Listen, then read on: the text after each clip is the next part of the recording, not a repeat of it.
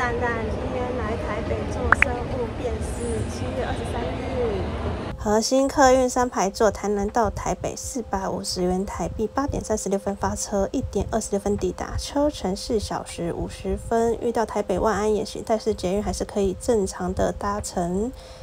搭乘红线前往台北上山站，在一号出口步行四百公尺。台北市信义区松仁路九十七号，就是这里。预约三点四十，只能三点十五进去。先来旁边吃午餐，一兰拉面，干杯！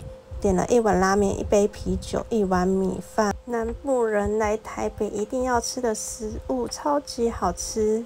两点十五用餐，三点十分离开，价格五百六十台币。接着扫描一楼的 QR code 给警卫看，在一楼换电梯卡。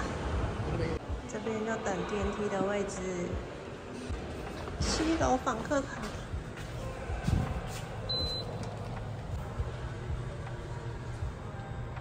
全台湾做生物辨识只有台北有，所以特地从台南坐客运来台北做生物鉴定、生物辨识。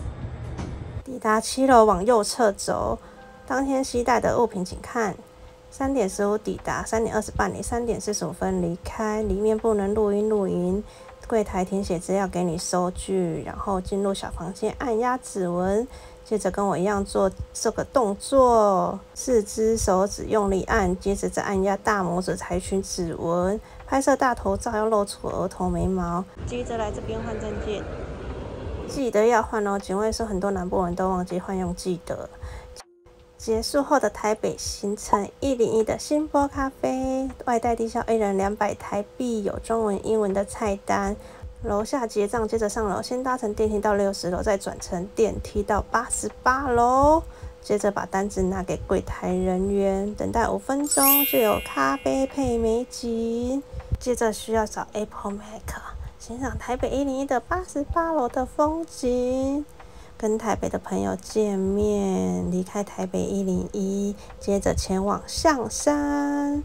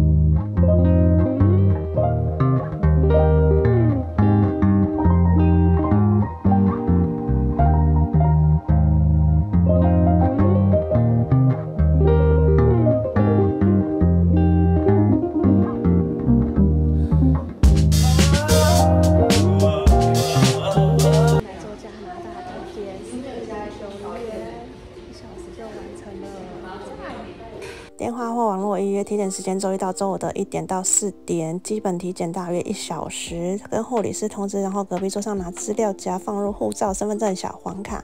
打工度假勾选 worker，还有其他签证的体检会一起的。接着给柜台资料就会先拍大头照，拍完等待叫号、量身高体重、视力、问资料。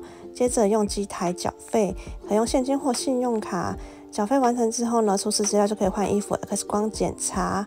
然后再回到柜台抽血验尿，等待医师问诊，体检就完成了。加拿大签证，台湾总共三家体检医院哦。记得要导航中国医的健检中心。我跑了三栋大楼都是错了，走了快一公里才找到真正的医学大楼、健检大楼。